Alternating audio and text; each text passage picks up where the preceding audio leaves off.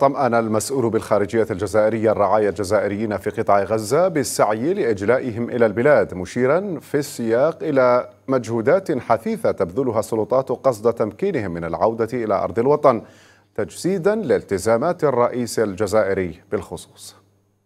في هذا المقام لا يسعني إلا أن تكون لي التفاتة لأبناء الجالية الجزائرية العالقين بغزة نطمئنهم أنه لا يهدأ لنا بال ولا يستقر لنا رأي إلا أن نتمكن إن شاء الله من إجلائهم كذلك.